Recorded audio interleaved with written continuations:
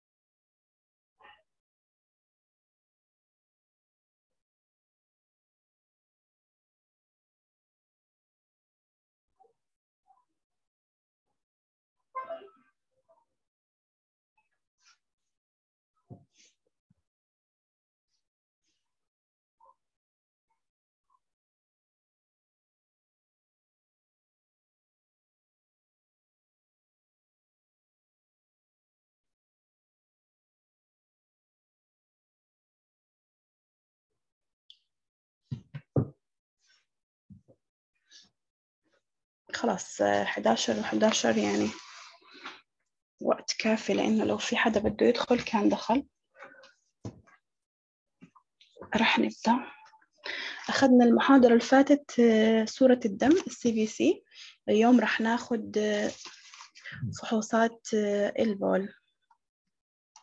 ال urine analysis يعني فحوصات البول. في أربع أنواع لفحوصات البول بشكل عام.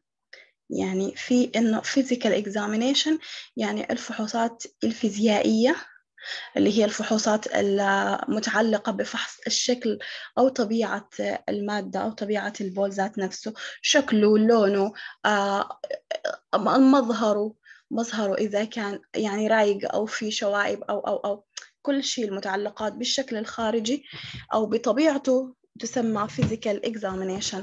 ال chemical النوع الثاني هو الفحوصات الكيميائية. الفحوصات الكيميائية هي يشوفوا طبيعة التفاعلات اللي بتتم آه، داخل البول آه، مع إضافة مواد catalysts يعني إضافة مواد ثانية أو إضافة مواد لإجراء ال test. نشوف نواتج التفاعل شو بيصير يعني.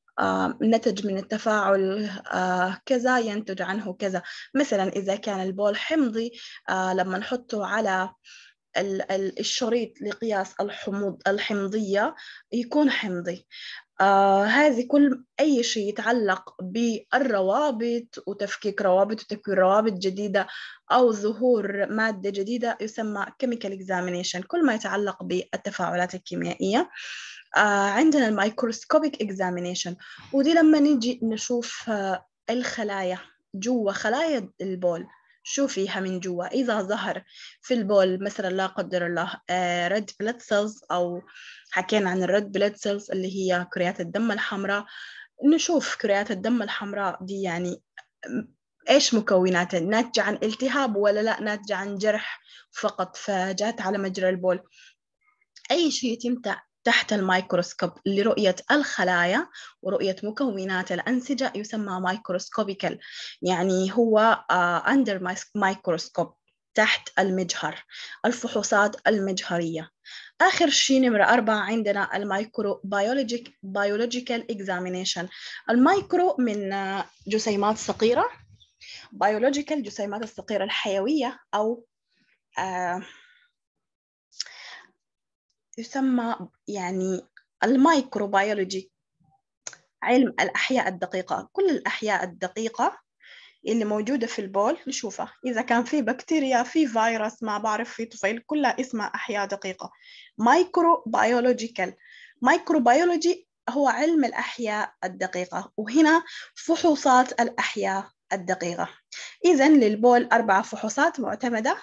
آه، الأول الفحص آه، الفيزيائي physical examination نمرة اثنين chemical examination نمرة ثلاثة ال microscopical examination اللي هو الفحوصات المجهرية نمرة أربعة فحوصات الأحياء الدقيقة ال microbiological examination.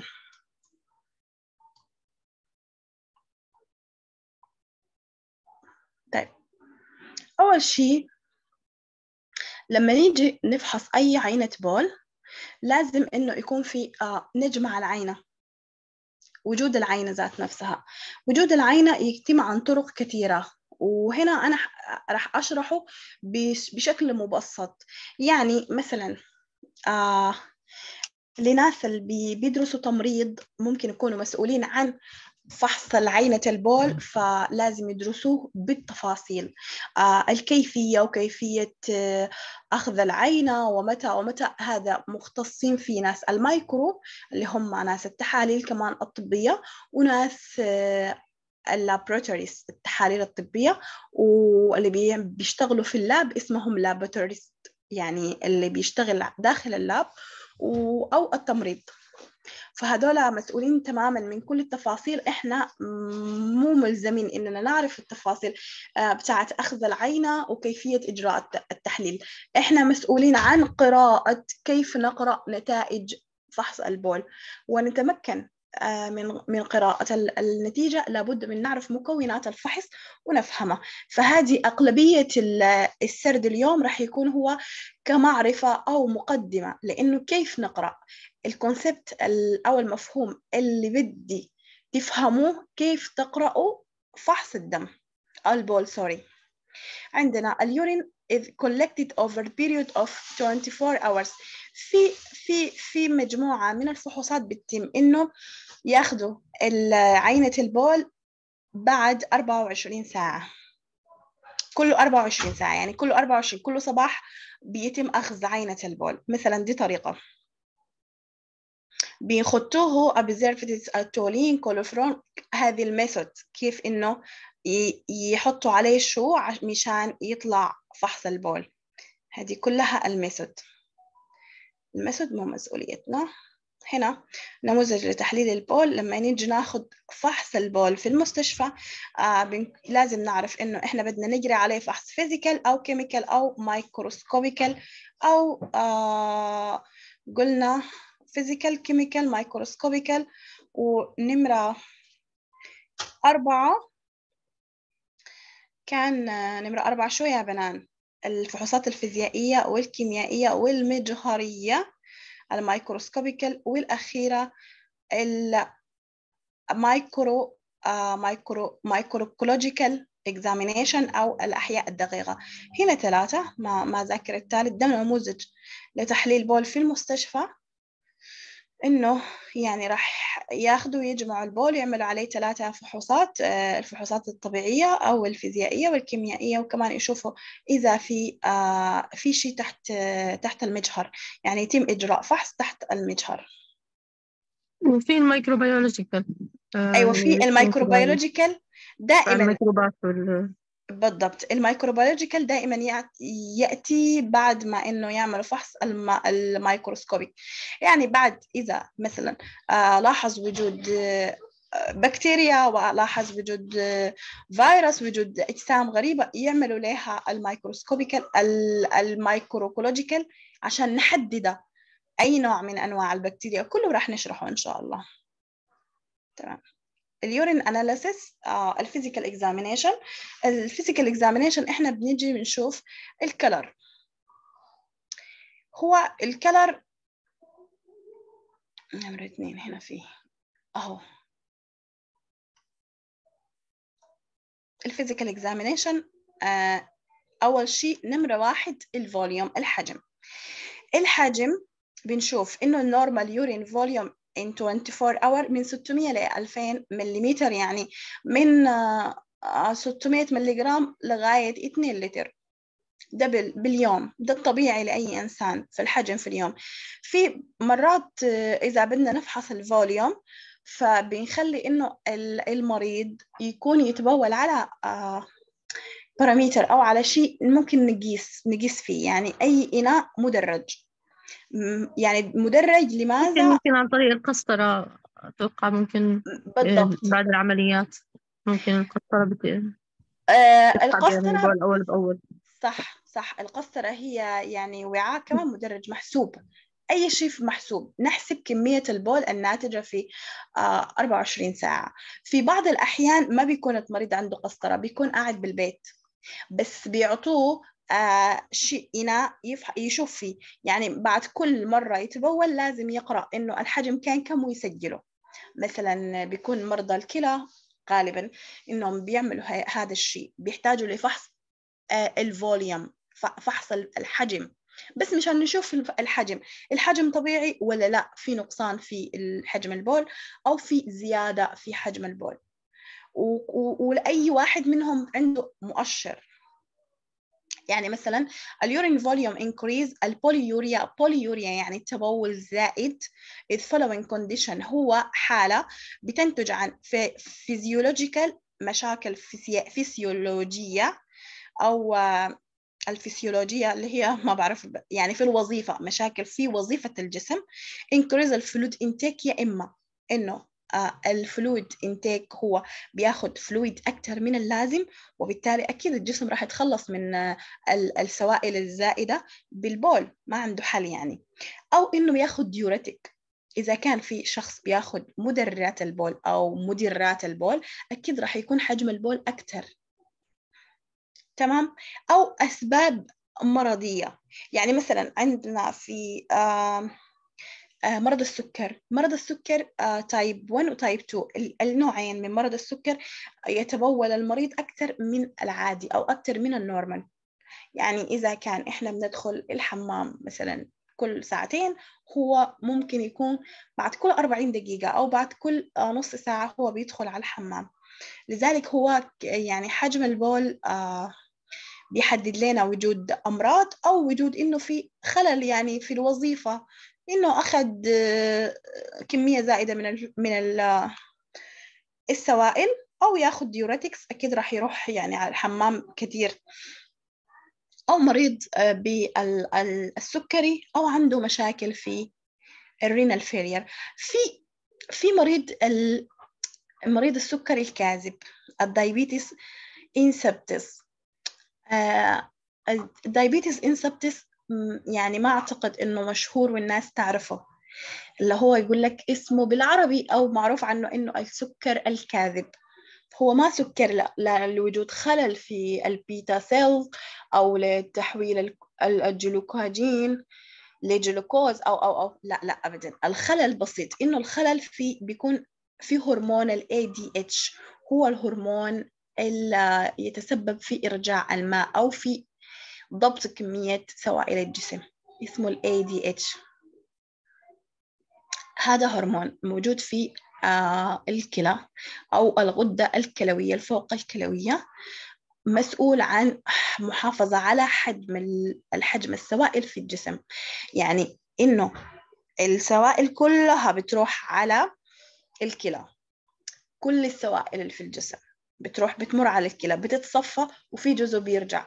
لما يرجع على الجسم مرة أخرى المسؤول عن إرجاع السوائل للجسم والمحافظة على آه، بيئة رطبة للجسم هو هرمون اسمه ال ADH في حالة نقصان ال ADH بيكون الناتج آه، مرض يسمى السكر الكاذب diabetes insipidus. سمعتي فيه شيء؟ آه، لا والله ما سمعت فيه. بس بيشبه شيء مقاومة الأنسولين ولا ما له علاقة؟ لا لا ما مقاومة طيب الأنسولين. طيب يعني هو بيخلي السكر الزايد يطلع بالدم مثلا أو لا مو سكر زايد هو ما له هو الاسم الاسم بس إنه حتى سكر كاذب. آه الفكرة هو هرمون. الهرمون مسؤول عن المحافظة على كمية السوائل في الجسم في ال normal range لأنه الجسم طب له سبب معين مثلا؟ خلل في يعني الهرمون. بس بس خلل, خلل بالهرمون. يعني ما في شيء مثلا له علاقة بالأكل لا. أو بال لا لا إصابة معينة لا حتى إنه مرض نادر جدا لأنه بيكون دائما المريض مصاب بالجفاف. لأنه بي بي بيطلع كمية من السوائل أكثر من اللازم فجسم الإنسان بيكون فيه جفاف. ومشكلة الجفاف من أكبر المشاكل اللي بتواجه الإنسان في حياته. الجفاف يؤدي إلى الموت لأنه جسم الإنسان كل العمليات الانتقالية بالماء بالسوائل الدم موجود في ماء. فتبادل المواد داخل الجسم بالماء فعدم وجود كمية كافية من الماء الخلية ذات نفسها يحصل لها انكماش ومن ثم تموت. وموت الخلية خلاص موت العضو موت العضو موت الإنسان. لذلك إنه المرض بيظهر في الأطفال غالبا لأنه اكتمال الهرمون بيكتمل في مرحلة الطفولة. يعني الأطفال وهم صغار بيكونوا آه، التبول عندهم أكثر وبياخدوا آه، أو جسمهم كله سوائل وبيطلعوا سوائل كتير. بعد شوي شوي شوي شوي بينضبط. بينضبط حتى. فوجود آه، نقص في الهرمون ال ADH أو خلل في عمله ممكن يكون موجود في الجسم بس في خلل في عمله يعني ما بيقدر يكون فعال أو يعمل أو نشط. آه، يؤدي في النهاية إلى آه، خروج المياه من الجسم أو خروج السوائل من الجسم بكميات أكثر من الطبيعي أكثر من المعدل الطبيعي مما يؤدي إلى فقدان الجسم للترطيب. أو آه، الديهايدريشن فقدان السوائل. فقدان السوائل يؤدي إلى الموت. أو المهم إحنا جبناه عرضا يعني إنه من الأسباب الممكن تكون مرضية. وجود مرض السكر أو مرض السكر الكاذب diabetes insipidus اللي هو نقص في آه، هرمون ال ADH أو chronic renal disease. ال chronic renal failure اللي هم آه، فشل الكلى أو الفشل الكلوي المزمن. الفش... في فشل كلوي حاد وفي فشل كلوي مزمن. الفشل الكلوي الحاد هو اللي بيجي بيكون يعني جاء أسبابه إما الإصابة بمرض في الكلى أدى إلى فشلها لكن في مدة زمنية أقل من ستة شهور. أو أو بعد حادث أو تعرض لحادث مثلا لا قدر الله آه، يعني حادث حادث حركي أو سكينة دخلت على الكلى شيء أو شيء ممرض يعني. التهاب حاد أصاب الكلى. وفي تاني نوع تاني اسمه آه الفشل الكلوي المزمن. الفشل الكلوي المزمن هو فشل كلوي عبر سنين. يعني يبدأ في فقدان. تبدأ الكلى في فقدان وظيفتها ولكن لمدة زمنية طويلة عبر مدة ممكن تستمر إلى 15 سنة. يعني في الأول تفقد مثلا نسبة 20% بعد شوية تفقد نسبة 40 بعد شوية 50 وعنده مراحل عنده خمسة مراحل. الخمسة مراحل لاكتمال الفشل الكلوي المزمن قد تستغرق 20 سنة أو 15 سنة أو 10 سنين. يسمى مزمن لأنه ياخذ وقت أطول chronic renal failure. فممكن يكون زيادة ال polyuria زيادة في حجم الدم ناتجة عن هذه الأسباب. تاني عندنا نقصان حجم الدم. ال urine volume decrease قصدك حجم البول صح؟ أها شو؟ ما سمعتك؟ معلش عم بقول قصدك حجم البول. انت عم تقولي نقصان حجم, حجم الدم. بد... sorry حجم البول. إحنا بنتكلم عن البول. نقصان في حجم البول. آه ال... ال... النقصان في حجم البول اسمه الأولي... أوليغويوريا أو أنيوريا. الأوليغويوريا إنه نقصان في حجم البول. الأنيوريا هو عدم وجود بول من أصله. يعني انقطاع. احتباس احتباس البول يعني. أو احتباس. أو انقطاع. قد يكون غير احتباس. احتباس هو موجود ولكن محبوس. لكن في بعض الأحيان ما بيكون موجود مثلا آه يعني ما ما بتكون أصلا. إنه ما بتكون أصلا البول. ما بتكون. تفتكري ممكن في أي حالات يعني ممكن إنه ما يتكون بول. ما هو البول بيطلع كل ال ال عملية ال elimination أو الإطراح بتتم عبر الكلى عن طريق البول. فإذا لم يعني كان ما كان في فشل كلوي أكيد. فشل كلوي غسيل الكلوي مرضى غسيل الكلى لأنه م. بيتم عمل غسيل فما بيحتاج هم كل الإطراح بيتم عن طريق الماكينة. ما بيتم ما بيتم عن طريق ال ال الكلى. فبيكون عندهم انقطاع. مثلا الله يعافيهم يا رب. ال dehydration مثلا نقصان في حجم البول. إذا إحنا كان في جفاف في dehydration أو في نقص في في أخذ كميات مناسبة للسوائل فممكن يكون أو فقد فقدان السوائل يكون في أكيد نقص في حجم البول. ال acute renal failure هي ال acute فشل الكلى الحاد.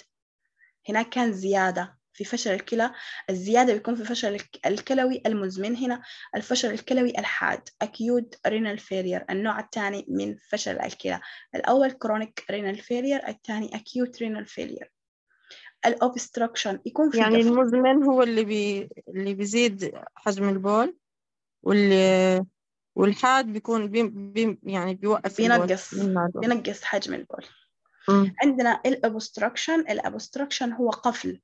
يعني قفل لوجود مادة مثلا مثل الحصاوي آه، قفل لتكوين مثلا جلطات في الحالب في قفل في مجرى البول. في شيء يقفل مجرى البول عامل obstruction يعني قفل. يعني إذا كان في قفل في مثلا حصوة قافلة مجرى البول أكيد ما راح السوائل ما راح تعدي أو البول ما راح يعدي لمكان اللي يخرج منه. يعني إذا مثلا قلنا إنه في حوض الكلى في قفل في آه الوصلة اللي بتودي إلى الحالب فأكيد ما راح يوصل البول للحالب ليعدي أو ليعدي للمثانة في قفل من من الحالب للمثانة أكيد ما راح يعدي. مشان ينزل. فهذه أسباب. ال oliguria أو decrease آه، في حجم البول أسبابه الجفاف ال dehydration آه، مرض فشل الكلى الحاد أو الفشل الكلوي الحاد أو وجود قفل في مجرى البول obstruction. طيب. هنا إيه هي معلش ال slides ما مرتبة. أنا هحاول إنه تكون مرتبة. قلنا أهي آه الفوليوم السبيسيفيك جرافيتي الاسبكت الكولر الاودر الديبوزيتس الرياكشنز بي اتش كلها راح نشوفها. آه خلصنا موضوع إنه ال volume راح نشوف كمان ال color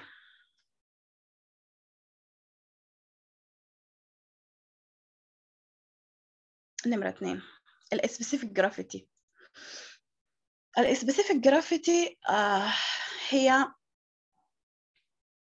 الكثافة النوعية. سمعتي فيها؟ آه لا والله. الكثافة النوعية أصلا في كثافة لأي سائل أي سائل في الدنيا عنده كثافة في كثافة الماء. أخف شيء هي كثافة الماء. أي سائل عنده كثافة. الكثافة آه من ال... يعني مثل الكلر وال... والحجم شيء فيزيائي طبيعي. من طبيعته إنه عنده كثافة. في في سوائل كثيفة وفي سوائل لا كثافتها منخفضة خفيفة. فحجم البول إنه هو عنده كثافة معينة. ليه؟ لأنه البول أصلا موجود فيه مواد أخرى غير غير الماء. لذلك هو بيكون أثقل من الماء شوي. لوجود يوريا وجود نيتروجين وجود بوتاسيوم وجود صوديوم وجود كمية من يمكن الألبومين أظن كمان البروتين أحيانا بيكون فيه في حالة الحمل. بالحمل أيوة في حالة وجود الزلال طبعا. م.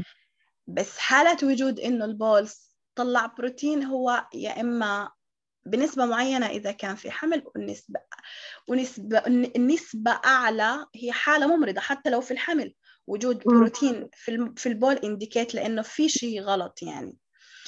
فال specific gravity solute concentration يعني إنه هنا نشوف يعني إنه الدو المواد الذائبة أصلا. آه، تراكيز المواد الذائبة. زي اليوريا والصوديوم والنيتروجين وكلهم ديل. إنهم هم موجودين بنفس الحجم أو بنفس النسبة ولا بنسب أعلى. normally ال specific gravity الطبيعي آه للبول إنه الكثافة النوعية عنده آه من 1.15 ل 1.25 من ألف. يعني واحد وخمستاشر من ألف ل واحد فاصلة خمسة وعشرين من ألف. دي ال specific gravity دي يعني هذا رقم يعني للح يعني مش مو للحفظ بس للعلم. إنه هو كثافته واحد من واحد point fifteen لواحد point خمسة وعشرين يعني 25 في حالة بتزيد زي ال dehydration مثلا إذا زادت إذا زاد زادت الكثافة ممكن في حالات بتزيد إنه يكون عنده إسهالات أو عنده آه، نقصان في السوائل. النقصان في السوائل من غير ما يكون في آه، مشكلة في حجم البول. يعني هو عنده جفاف بس البول طبيعي. حجم البول طبيعي في في ال normal range أو في الحجم الطبيعي لكن عنده جفاف. ممكن يكون الأسباب بالإسهالات غالبا. إسهال يعني آه، إسهال إسهال طبيعي يعني ولا مزمن ولا نوبات إسهال مثلا. عدت يومين شيء ملخبط بالبطن فالإنسان بحس إنه تعبان منهك آه، جزء يعني حلقه ناشف بس ما في مشكلة في حجم البول. دي آه لما يقيس البول في الوقت ده بيكون في ال specific gravity الكثافة النوعية نازلة شوي. طيب أقل من آه 1.15 ال diabetes mellitus أو مرضى السكر آه مرضى السكر with polyuria اللي عندهم زيادة في حجم البول بيكون عندهم الكثافة نوعي كثافة البول بتكون منخفضة. آه ال acute renal failure مرض الكلى فشل الكلى الحاد مع وجود آه oliguria اللي هو نقصان في حجم البول. بيكون برضو آه في نقصان وانخفاض في الكثافة النوعية للبول. reduce أو زيادة sorry increase increase increase في ال acute renal في ال acute renal failure في آه مرض الكلى الحاد أو الفشل الكلوي الحاد. آه بنان آه increase. increase يعني زيادة صح؟ زيادة increase. It's not decrease sorry. ال dehydration بيزيد الكثافة النوعية في السكر بيزيد الكثافة النوعية في ال acute renal failure بيزيد الكثافة النوعية. ما إلك with with with with بتلخبط شوي سيبيها. بس في حالة الجفاف بتزيد في حالة. طبيعي يعني أنا كثافة الكثافة مثلا إذا عملنا عصير عصير سي إنه عصير تانج تعرفيه صح؟ آه. ذوبنا البودرة في حجم كوباية صغيرة. معلقة في حجم في كوباية صغيرة. آه ولا معلقة في آه كوباية كبيرة أو جك أكيد في الحجم الكبير بتكون منخفضة أو بيكون السوائل أكتر صح؟ بس في الحجم الصغير بيكون مركز أكتر وأكثف الكثافة زائدة. يعني حتى مم. اللون بيكون مختلف والحويبات بتشوفيها يعني إنه دلالة على إنه الكثافة مرتفعة. لما يكون الكثافة منخفضة في الحجم الكبير ما بتظهر بيكون خفيف. ففي حالة أمراض الديها في حالة الديهايدريشن الجفاف لعدم وجود كمية كافية من السوائل فبتكون الكثافة أكبر. وكمان الكثافة أكبر في حالة السكر والكثافة أكبر في حالة الفشل الكلوي الحاد. بيكون منخفض الكثافة تنخفض في حالة السكر الكاذب. السكر الكاذب. أشرح لك ليش كمان. لأنه لأن... بيكون في زيادة في الإفراز السوائل مثل ما قلتي إنه الهرمون اللي بيعمل خلل في حفظ السوائل. بالضبط في حفظ فبضل يفرق يخلي السوائل تنطرح في البول فبتقل كثافة البول بصير كثافته خفيفة. بالضبط. ممتاز ممتاز ممتاز. بالضبط هذه هي specific gravity نجي نشوف الكلر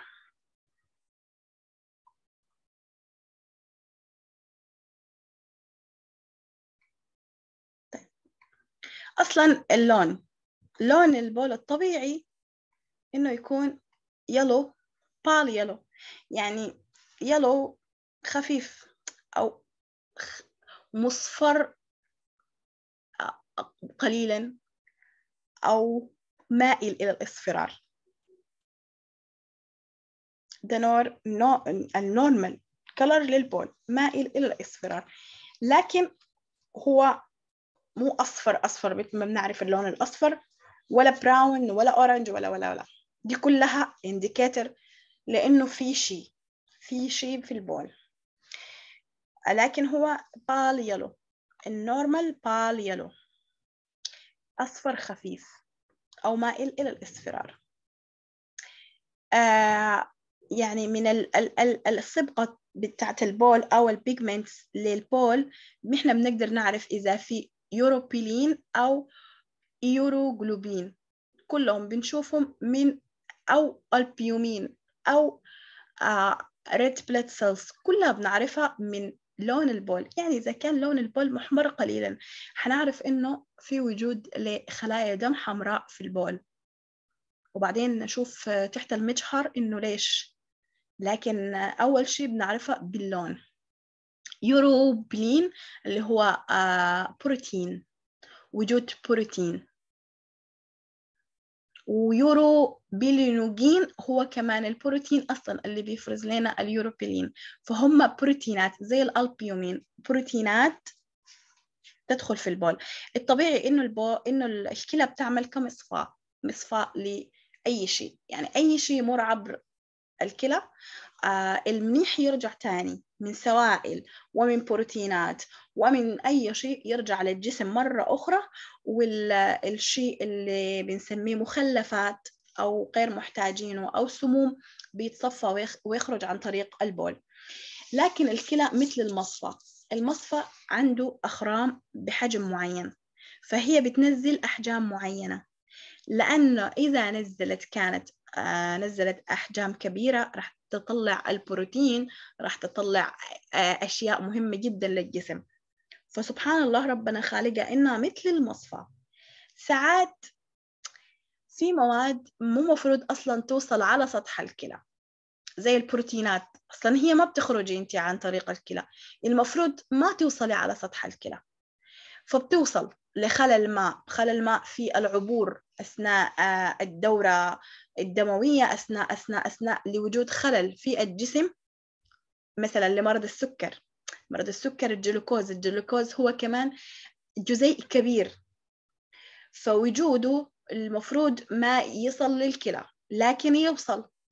بروتين البيومين لأنه بروتين فهو كبير حجمه كبير يوصل للكلى. يقعدوا على سطح الكلى. ويوقعوا. وكمان يجي اللي بعده ويجي اللي بعده ويجي اللي بعده. يصير في ضغط على المصفى. يصير في ضغط على سطح الكلى ومن ثم هتك. هتك في الكلى أو آه، يعني مشكلة في تركيبة الكلى. مشكلة في الاستراكشر تبع الكلى وعندما يهتك يقوم ينزل الألبيومين ينزل في حالة مثلا مرض السكر أو في حالة مرض الزلال ينزل. فنزوله دلالة على إنه الخرم صار أوسع كبر مو طبيعي. صارت الكلى تنزل بروتينات لوجود البروتينات على سطحها بكميات أكبر. هنا نعرف إنه في بروتين في البول في مشكلة في آه، الزلال في مشكلة في السكر. ولذلك ده سبب أساسي في إنه أغلبية مرضى السكر آه، معرضين بنسبة 70% للفشل الكلوي. يعني السكر يؤدي إلى الفشل الكلوي. من أهم الأسباب هي وجود سكر أو مرض سكر لفترات طويلة مزمنة يؤدي إلى فشل كلوي في النهاية إذا كان الشخص غير محافظ لأنه وجود جلوكوز كثير يصل للكلى ومن ثم يعمل على هتك الكلى وتغيير في تركيبتها مما يؤدي إلى آه يعني خلل في النسيج الكلوي ذات نفسه. والكلى سبحان الله هي مصفى مكون من شيء اسمه نفرون النفرون لا يتجدد. يعني الشيء الموجود خلاص موجود ما بيتجدد مرة ثانية مثل الأعصاب. خلايا غير متجددة اللي بيبوظ بيبوظ خلاص. فهمتيها؟ آه مفهوم تمام. ال abnormal color of urine يعني مثلا يكون ما عنده لون colorless ما في لون. بول أبيض.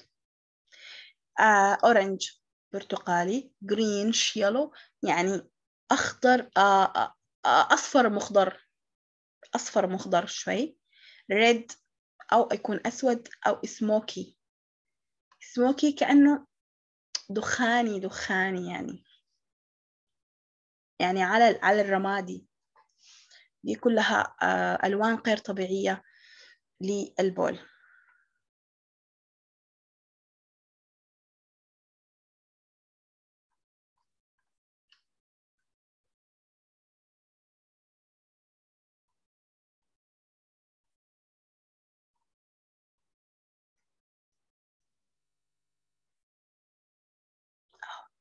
طيب ال color آه أنا راح أرتب ال slides مرة ثانية وأرجع بعدها. ال color continued continued يعني تكملة. إيه ال red urine طيب نشوف. آه إذا كان الدم لونه أحمر هذا يدل على إنه في blood أو هيموغلوبين أو RBCs يعني يا إما يكون في هيموغلوبين أو خلية كاملة هيموغلوبين مع خليته. ال RBCs كلها. دي يكون هنا ال red لونه أحمر أو ال urine لونه أحمر اسمه red urine ال black urine في شيء اسمه methemoglobin آه كمان بروتين في حالة وجود ال methemoglobin يكون ال red لونه أسود. الأس... ال urine لونه أسود sorry ال... ال... البول أسود اللون.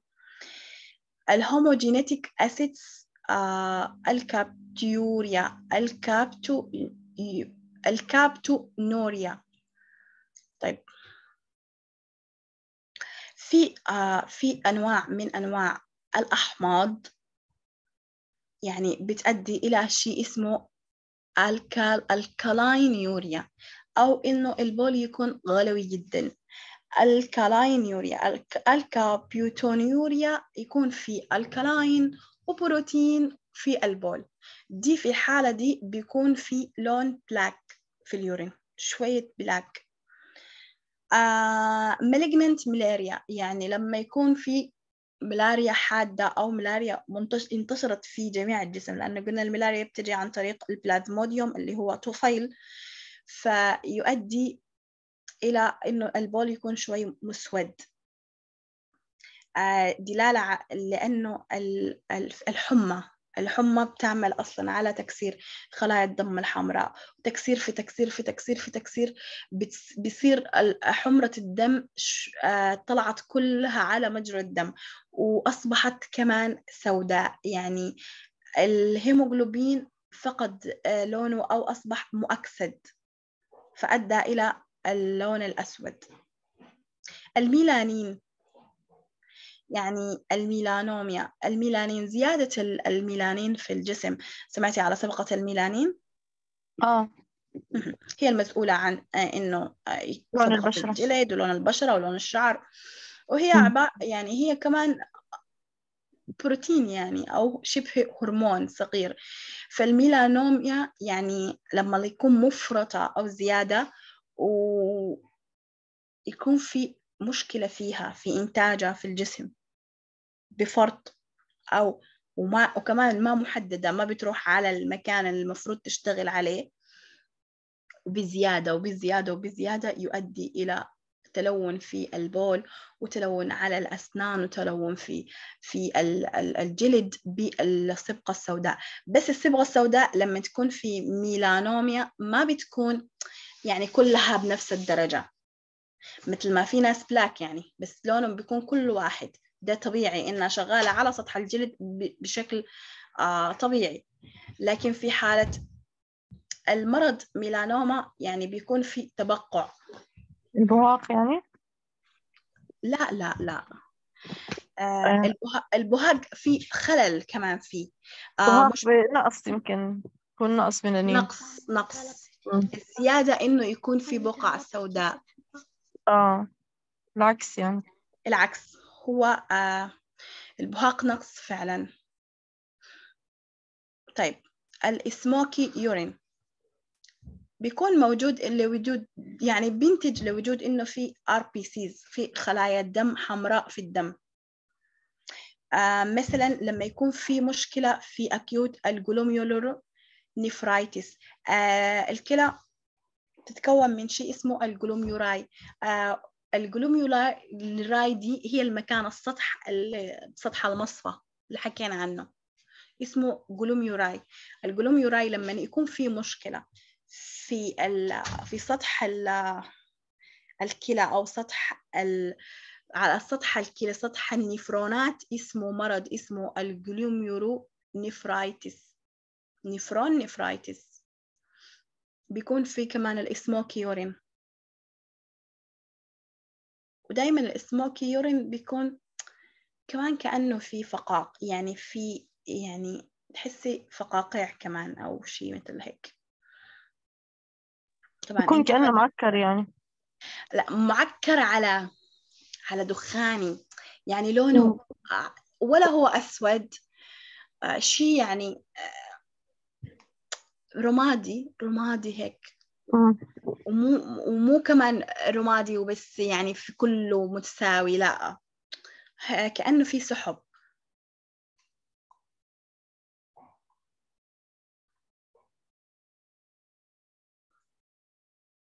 كلها ال physical examination تقريبا. خلصنا ال physical examination نجي. ال appearance الشكل الخارجي. دائما إنه الشكل الخارجي للبول بيكون clear صافي transparent يعني شفاف. ممكن نشوف من عبره من خطيتي عينة بول ممكن تشوفي من وراها. لكن إذا كانت مثلا cloudy cloudy urine حكينا عنه إنه مثل السحب may indicate possible abnormal condition يعني uh, such as white blood cells, epithelial cells, crystals and bacteria. في حالة إنه نشوف بول متسحب أو في سحب بالبول بيكون شكله عكران متعكر مش مو صافي ما clear آه ده وجود لأنه في شيء abnormal. ال abnormal ممكن يكون آه خلايا بيضاء خلايا دم بيضاء خلايا دم حمراء خلايا crystals يعني حصاوي بكتيريا كله. طيب في نقطة إنه مرات بيكون البول إذا اتخزن ويتوجد آه، بدون preservative إحنا لازم نخلي في البول ده مسؤول منه مثل ما ذكرت ببداية المحاضرة إنه آه، ناس ال nursing هم مسؤولين عن إنه كيف ياخذوا يجمعوا العينة وكيف يحافظوا عليها وين يحطوها ويحطوها كيف. إذا اتوجد آه، خارجيا من غير ما إنه يكون في مواد حافظة preservative no cooling يعني كمان ما حطوه على الثلاجة أو مكان إنه ما في إصابة بالبكتيريا يمنع دخول بكتيريا أو فيروس. مبي إنه ال color يكون cloudy إنه يصبح ال color cloudy لما يصبح ال color cloudy لأنه في بكتيريا أصلا دخلت بالبول. البكتيريا مو من جسم الإنسان ولكن خارجيا دخلت في العينة بكتيريا تصبح عينة فاسدة أصلا. لا. طيب. ال odor ال... ال smell الرائحة. دي كلها في الفيزيكال. الأودر الأودر نورمال يورين أودر بيكون إنه النورمال or fresh يعني بيكون من يعني voided urine sample. The normal odor of fresh voided urine sample يعني عادي ال normal في آه، آه، آه، البول له رائحة مميزة رائحة نفاذة مميزة معروفة. أي تغيير في هذه الرائحة ده دلالة على إنه في شيء مو مزبوط ودي من الفحوصات الفيزيائية. يعني آه ساعات آه من أخذ العينة مثلا تقدر تحددي إنه آه مريض سكر عنده ارتفاع حاد بالسكر؟ لأنه في رائحة مثلا فواكه. عندنا زي ال fruity odor رائحة الفواكه due the presence of acetone. وجود الأسيتون في الجسم in the urine as in diabetic ketoacidosis مرضى السكر الغير محافظين أو ال diabetes uncontrolled بيكون أخذهم آه، بكميات عالية من السكريات يؤدي لتكوين شيء اسمه أسيتون الأسيتون هو وجود كيتون كيتون في الدم. الكيتون له رائحة مميزة واللي هي رائحة الفواكه. ومن ثم رائحة الفواكه في البول دلالة على آه، ال ketoacidosis هو وجود الأسيتون تسمعي كثير يقول لك آه، راحوا فحصوا لا الأسيتون عنده آه ثلاث صلايب راحوا فحصوا لا عنده صليب ما بعرف. هيك يعني.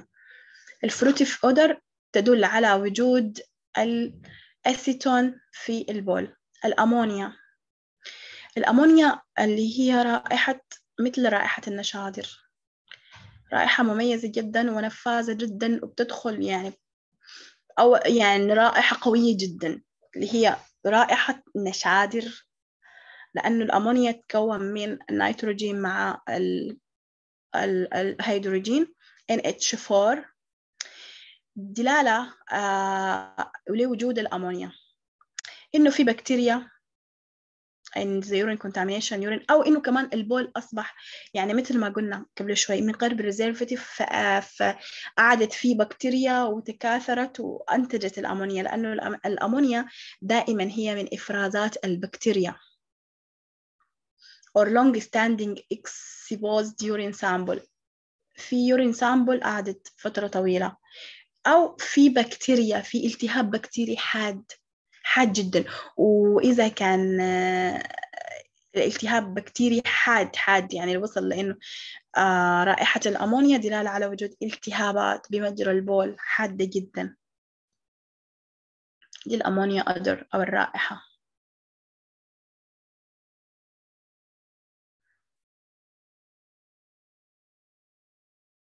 طيب ال deposits هو مكونات جوا في شيء في في رواسب ولا لا؟ Normal urine devoid of deposit. ما فيه أصلا بيكون clear.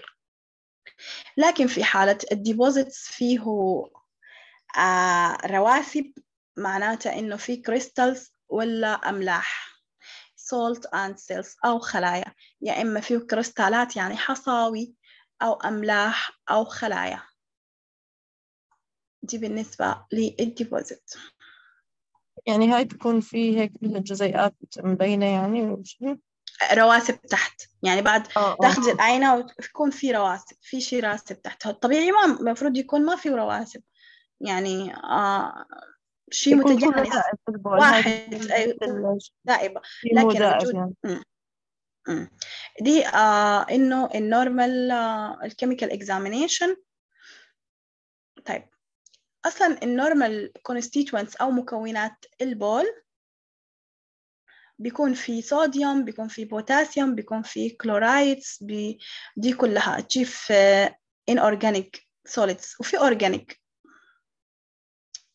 آه inorganic الصوديوم البوتاسيوم ال chloride smaller amount of calcium magnesium sulfate phosphate وكمان في trace آثار لل iron شوي. وفي زنك وفي copper اللي هو نحاس وكمان في iodine دي كلها من المكونات. ال organic non-protein nitrogen يعني هو في أشياء زي ال amino acids زي الأمونيا وزي اليوريا وال uric acid والكرياتين والكرياتينين. في كرياتين وفي كرياتينين. آه الكرياتين يكون كرياتينين. ال organic acids زي ال lactic acids وال citric acids وال oxalic acid وال ketone ال bodies few amounts دي كلها دي الحاجات آه بتوجد ذائبة في الد... في البول. بيكون فيه تقريبا زي 50 جرام of solids 50 جرام من المواد الصلبة آه ذائبة في واحد وخمسة لتر of water per day. ده الإنسان الطبيعي. هو بيحتوي على organic and inorganic وsolid يعني في organic وفي inorganic وفي solids. ال solids زي ما قلنا اللي هي المعادن كل المعادن. الصوديوم والبوتاسيوم والكلورايد. وعندنا كمان كالسيوم ومغنيسيوم و sulfate و phosphate. كلها copper زنك نحاس أيوة. حديد. أيوة حديد كله موجود. iodine كله. عشان كده فح في فحص البول بنجي لفحص وظائف الكلى آه بنشوف كل هذه لأنها هي مفروض ال amount أو الكمية المناسبة للجسم. إذا أخذ كفايته ترجع للجسم إذا ويطلع الباقي. إذا في خلل لا بتكون طالعة بنسب أعلى. بتكون طالعة بنسب أعلى في البول. بنشوفها عن طريق البول. وال protein non-protein وفي كمان lactic uh, acids وكذا. non protein في نيتروجين بس ما بروتين ما نيتروجين يحتوي على البروتين. لأنه الطبيعي إنه البول ما يكون فيه في بروتين في حالة وجود بروتين في البول هذا يدل على خلل. لكن في amino acids في امونيا في يوريا في uric acid في كرياتين وفي كرياتينين وقلنا في ال organic acids الأملاح العضوية أو الأحماض العضوية زي ال lactic acid وال citric acid وال oxalic acid والكيتون اللي هو يعني هي ketone body أجسام لكن تعتبر أجسام عضوية موجودة. طيب ال sugar آه السكر. هو normally not more than 1 جرام هو موجود في في sugar موجود في البول بس إنه الطبيعي ما بيكون أكثر من واحد جرام of sugar. آه إنه يوجد في ال ال ال البول في اليوم. أكثر من كده آه ديتكتك إنه في مشكلة indicator لإنه في مشكلة في السكر. Sugar cannot be detected by ordinary test. إحنا ما ما ما ما, ما بيت يعني ما في تست نعرف يعني إنه يعني كم عدد السكر بالضبط. لكن إحنا بنشوف إنه في سكر أو لا. بعدين في فحوصات أعلى للسكر التراكمي. نوزنه على مدى ثلاث شهور أو على مدى شهر كامل مو يوم. لنتأكد إنه السكر في البول. لكن مثلا قبل الوجبة شيء وبعد الوجبة شيء هيك يعني. Very small amount of glucose uh, not exceed that 150 ما زيادة. يعني كميات بسيطة من الجلوكوز ما بتزيد عن ال 150 ملي جرام اللي هي يعني تقريبا 150 ملي جرام بسيطة جدا. أقل من الجرام بكثير يعني أقل 150 بس uh, are normally excreted per day. يعني دي, دي, دي بتقدر عليها تطلعها الكلى لكن لو زادت عن ال 150 زادت عن ال 150 ملي جرام يعني شيء كتير بسيط. 150 ملي جرام من الجلوكوز. لو زاد ما بتقدر. Other uh, sugars present in urine في في كمان مثل اللاكتوز. يعني في غير الجلوكوز في لاكتوز بيكون قاعد في اللي هو سكر الحليب. اللاكتوز بيتوجد درسته طبعا biochemistry صح؟ تعرفي أنواع السكريات؟ أه لا. في في سكر تاني غير سكر الدم عندنا الطبيعي اسمه جلوكوز في سكر اسمه لاكتوز. اللاكتوز هو آه سكر الموجود في الحليب. يعني بتسمعي إنه في طفل عنده أنت عندك أطفال في طفل عنده حساسية اللاكتوز. يعني لما ياخذ الحليب بيرجع يرجعه يستفرقه فبيعطوهم أنواع حليب خالية من اللاكتوز. free lactose milk أو فورميولا تتوجد في الصيدليات. سمعتي بيها؟ آه. بس ال lactosuria occur in infant لما يكون بيكون عند الأطفال اللي عندهم حساسيات من سكر اللاكتوز في مرحلة الإرضاع. دائما موجودة يعني بيكون موجود آه، ال lactosuria اللي هي اللي بنتكلم عنها. بيكون موجود عند الأطفال. يعني اللي عنده حساسية لاكتوز بتوجدي في عينة البول للطفل بيكون في لاكتوز. فبيمنعوه من أخذ حليب الأم لأنه غني كمان باللاكتوز. طيب ال chemical examination. ناخد break. إذا عندك شيء ناخد break. آه، طيب ماشي. إذا ما في شيء نكمل. باقي كتير؟ لا. إذا ما كتير خلاص بنكمل مشكلة. تمام. آه بن بنقيس البروتين من ال physical examination من ال chemical examination. يعني ال chemical examination بتشوف إذا في بروتين في البول أو لا. البروتين بيتعرف بال reaction يعني بالتفاعل. في مواد نضيف مادة معينة إذا تمت التفاعل دلالة على وجود البروتين. في المرض اسمه ال proteinuria. إذا في بروتين يعني proteinuria. بروتين بروتين. proteinuria proteinuria يعني وجود بروتين داخل البول. proteinuria هي proteinuria. تمام؟ ال heavy proteinuria لما تكون آه، أكبر من 4 ملغ في اليوم. إذا كان عينة البول كانت في أربعة ملي جرام يعني في اليوم الواحد آه، أربعة ملي جرام بيكون في مشكلة heavy يعني كمية كبيرة من آه، البروتينات تطلع عن طريق البول. ال moderate بتكون من واحد لأربعة ال minimal proteinuria اللي هي بتكون أصغر من واحد جرام per في ال day. يعني دي دايما بتكون عند الحوامل مثل ما قلت. وجود زلال زلالة على, على, على البول في الحامل. بتكون في ال minimal يعني ما دايما في العالي. الهيفي دلالة على تهتك في نسيج الكلى ومرض يعني وجود أمراض خطيرة وتنبئ بالفشل الكلوي.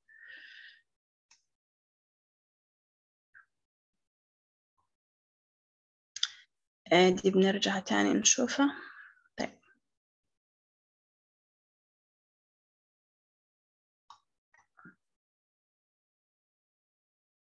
طيب البروتين.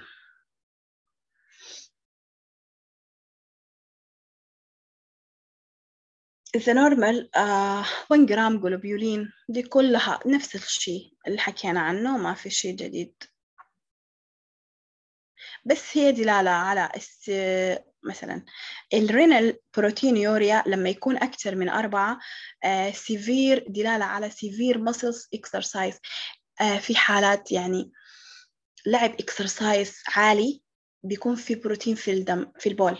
بيكون في بروتين في, في البول. لماذا؟ لأنه آه البروتين آه بيطلع من ال muscles يعني حرق حرق حرق. وتنشيط لل muscles بينتج لنا آه نواتج بروتينية. النواتج البروتينية تكون موجودة في البول. after prolonged standing. يعني إذا كان مثلا واقفة لمدة ست ساعات أكيد يعني. لأنه كمان هذا physical effort. كمان العضلات تعبت. وكمان أكيوت ممكن مثلا لما يكون في تدريب يعني تدريب بشكل متواصل قبل ما تصير في استشفاء عضلي يعني بصير إنه لأنه ما يعني ما عم ما عم يصير في ريكفري للعضلات يعني يكون هذا السبب؟ ال ال حركة العضلات تنتج نماتج آه كمان بروتينية. حركة العضلة تحريكها كتير بالهيفي هيفي يعني مثلا آه يلعب كل يوم رياضة آه لمدة شهرين ويحمل أوزان. بيكون في آه حرق في في في المسلز ذات نفسها أو تغيير في تركيبها مشان تكبر مشان تتحمل الضغط مشان تنتج نواتج بروتينية. النواتج البروتينية من كثرتها تظهر في البول. لأنه في heavy muscles exercise المسلز حركة المسلز عموما تكسير المسلز هو يؤدي إلى وجود البروتين لأنه مكونات المسلز أصلا بروتينية. وزي ما قلتي يكون من عد... مش عدم استشفاء هي تتكسر تكسر تكسير تكسير لأنه كمان اللعب آه، الرياضة من قبل قصدي إنه لما يكون. يعني يلعب زيادة عن اللزوم عن يعني اللازم بالضبط عن اللازم. عشان البناء العضلي. فبيكون إنه متواصل بشكل متواصل وكله تمارين مقاومة أو تمارين تكون يعني فيها تحميل زيادة على العضلات. تحميل على العضل. فعلا. أوه. مثل فعلا يعني فما ما بيسمح لها ما بيعطيها فرصة إنها يعني ترجع ترتاح. صح تبني صح. ما بترجع تبني. وعدم بناءها آه وين راحت المنتجات وين راحت؟ تكسرت. اتكسرت آه صارت موجودة بال... بالجسم. فأكيد راح تروح آه كمنتجات يعني مخلفات على البول فوجوده. After long standing كمان نفس نفس الشيء. ال acute glomerulonephritis دي قلناها الالتهاب الحاد في ال nephritis أو في آه مصفات الكلى كمان. لأنه هي إذا ملتهبة جدا راح تصفي أي شيء. أي بروتين داخل عليها ما راح ترجعه. راح يعبر. وال nephrotic syndrome. nephrotic syndrome كمان إنه تهتك في أغشية الكلى مما يتسبب في دخول ال ال البروتينات على الكلى والمرور عبرها طبيعي إنها ما راح تمر. تمسكها لكن إذا في تهتك راح تمر. طيب بعد ذاك في ال post renal proteinuria ال lower urinary tract inflammation. يعني ما بعد إنه يكون في ال ال ال البروتين في في البول. بينتج عنه التهابات آه، مجرى البول السفلية. في التهابات بتكون في ال upper في الجزء العلوي من الجهاز البولي وفي التهابات في الجزء السفلي. آه، دي إنه بتكون آه، وجود ال proteinuria ال post renal. يعني بعد مو, مو كمان البروتين جاي من الكلى فقط في المجرى البولي. في في المجرى البولي في وجود البروتينات بشكل أكبر. يا إما يكون لأنه وجود آه التهاب في الجزء السفلي من الجهاز البولي أو وجود tumors يعني أورام أو وجود ال stones حصاوي في المجرى السفلي للبول.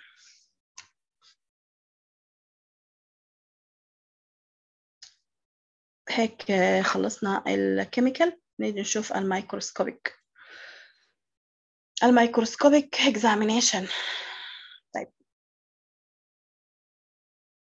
طيب في آه مشكلة. أنت قريتي تشريح صح؟ anatomy آه أخذنا. طيب إذا أخذتوا ال anatomy يعني أكيد مكونات الكلى عرفتوها إنه في ال glomeruli وفي ال duct tubule ال distal convoluted tubule. أخذتوه صح؟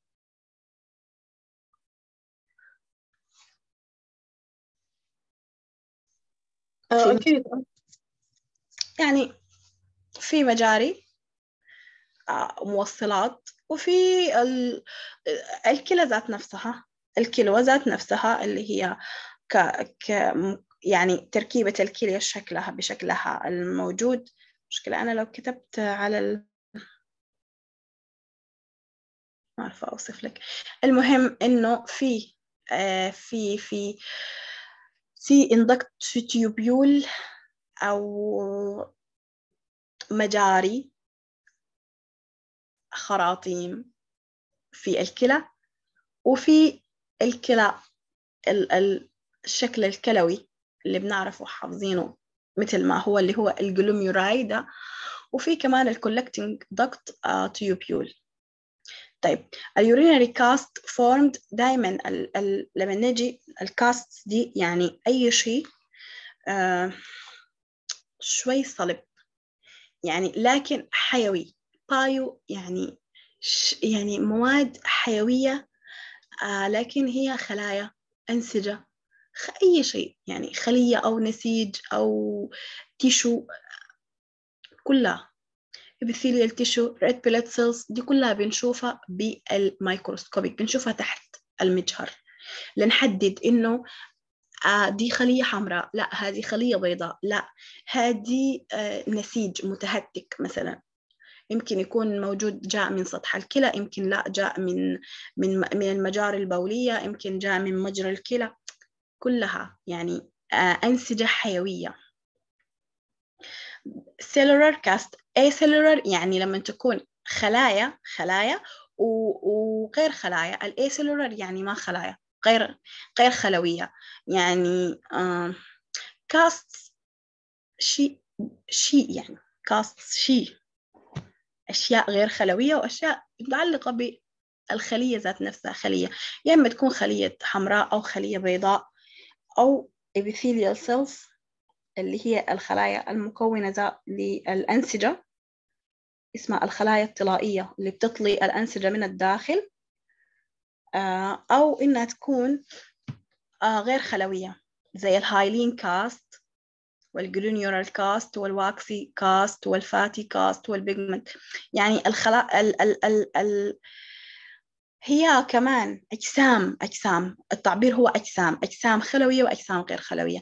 أجسام غير خلوية ال hyaline cast وال granular في الخلايا بيكون جواها مكونات ثانية يعني. في مكونات granular مثل محببة. في مكونات waxy مشمعة. في مكونات دهنية fatty cast. في مكونات ملونة. في مكونات بتكون crystals crystals يعني بلورية. دي كلها ال acellular وال cellular آه قلنا إنها يا إما تكون آه خلايا دم بيضاء يا إما خلايا دم حمراء يا إما خلايا طلائية. دي من داخل الخلية أنواع خلايا. ودي من المكونات الموجودة في الخلايا.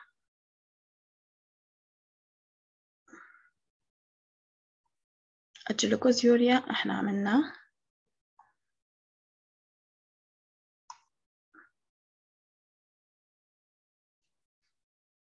طيب.